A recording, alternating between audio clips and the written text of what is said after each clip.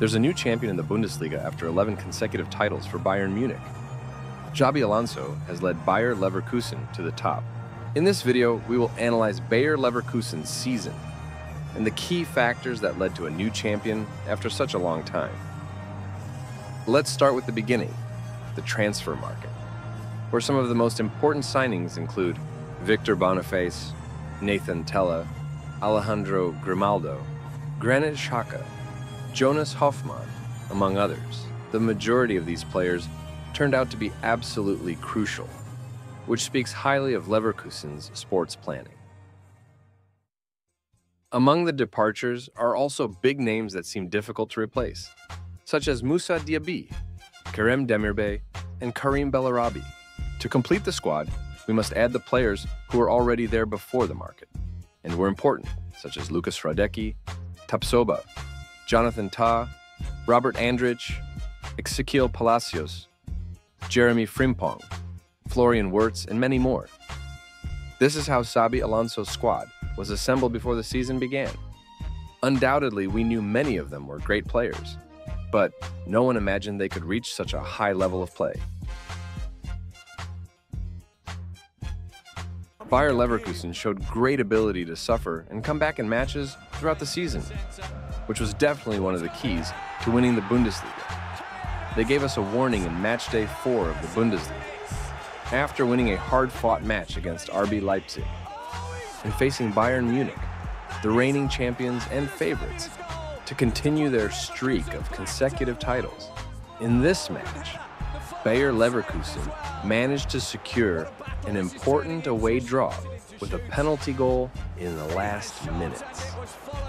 In fact, at the time of recording this video, there have been eight matches where Bayer Leverkusen were losing or drawing and managed to change the result by scoring a goal in the 90th minute or later. But the most frequent face of Bayer Leverkusen is dominating matches and comfortably defeating their opponents. In fact, Granit Xhaka, Exequiel Palacios, and Piero Hincapié are among the top five players with the highest average passes per 90 minutes in the Bundesliga. And Florian Wirtz is the player who makes the most deep attacks per 90 minutes. Granit Xhaka and Exequiel Palacios appear again as the players who make the most passes into the final third of the field. This tells us that Bayer Leverkusen is a team that seeks to dominate matches, press high up the pitch, and when they lose the ball, they regain possession quickly. Another tactical aspect of the team is the importance of the wingbacks in managing the game. Bayer Leverkusen plays with a back three, which gives freedom to the wingbacks, usually Grimaldo and Frimpong. Depending on the match, these fullbacks either widen or narrow the game. When the opponent marks man-to-man, they usually widen to break the opponent's position. They also get into the opponent's area a lot, which is reflected in the statistics of both players, with many goals and assists compared to other fullbacks or wingbacks. The star of the team is possibly Florian Wirtz, who enjoys freedom in positioning and feeds the forward.